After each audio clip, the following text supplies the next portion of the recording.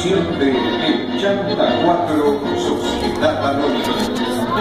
Les agradecemos su presencia y esperamos verlos nuevamente aquí, en Ina Carlos Gardel, donde se encuentra el tango y nuestro sueño.